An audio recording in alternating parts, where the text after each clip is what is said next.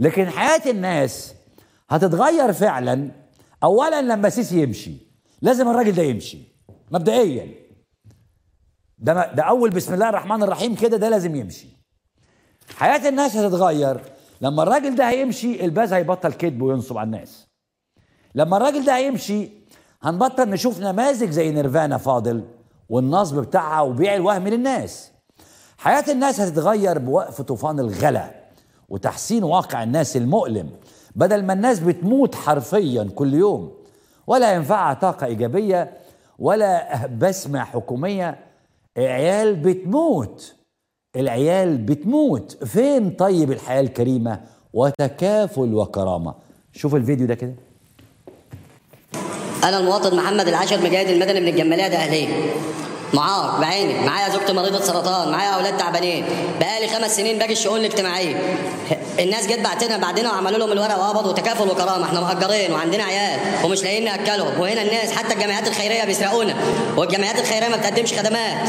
نيجي للشؤون يقول لك ما الناس سلطان عليهم. عايزين نعرف مين مين ليه سلطان في الموضوع ده؟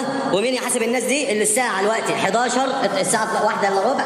ماشي؟ ومفيش ولا موظف على مكتبه ولا مدير واحدة ولا رئيس واحدة ولا مدير إدارة. عايزين نعرف إحنا حقنا فين؟ وعند مين؟ وناخده إزاي تفاؤل إيه؟ تفاؤل إيه وأنتوا بتقطعوا يعني بتقروا كمان على الناس في برامج تكافل وكرامة والدعم؟ خلينا نشوف النائبة سميرة الجزار بتطالب بالتحقيق في توقف آه، برنامج أطفال وكبار بلا مأوى. إدارة حياة إيه؟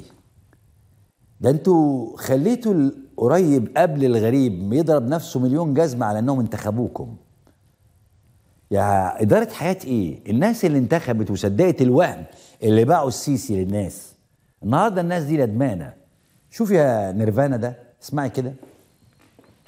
طب فين باقي حركة تمرد؟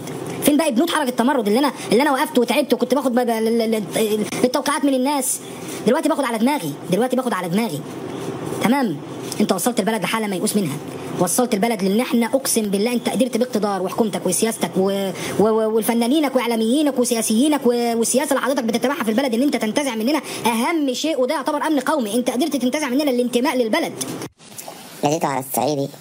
وناديته على ابن عمه البورسعيدي ولميته الشباب الإسكندراني وعملت أفلام وعملت لمة رجاله أدينا اتخزوقنا كلنا. أدينا مش في حد عارف ياكل ابنه ولا حد عارف يعيش. والبيل ماسكنا بقول لك انت مش هيكفيك 10000 جنيه في الشهر. وانت بتقبض 2003 أصلا. طب انت عارف كده. الشعب هياكل منين يا ريس؟ الغلابة يا ريس. انت بنيت قصور بنيت كباري قلت هعمل قصور رئاسيه وليا ده لمصر فين مصر؟ إحنا مصر. دي الناس اللي خالد الخازوق اللي طلعت وخالد وما بنصطادش في الماء العكرة زي ما حد كان بيقول. ده واقع الناس فعلا يا أستاذة نيرفانا. الناس مش لاقية البيضة ورغيف العيش. البيضة بأربعة جنيه ومحدش عارف يعيش. مش كلامي. اسمع الكلام ده كده. بنوجه رسالة لسيادة الرئيس ورسالة للقائمين على البلد. نحن نقول لكم يا جماعة اللي تدوروا فيه هذا ما يصيرش خالص. بالمعنى المصري ما ينفعش بالمرة. ما ينفعش خالص. اللي أنتوا بتعملوه ده ما ينفعش يا جماعة. ليه ما ينفعش؟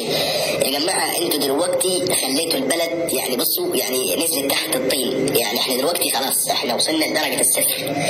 إحنا النهارده اللي معاه خمس عيال بيصرف ما يقارب في اليوم عن 300 أو 350 جنيه. حرام هنجيبهم منين؟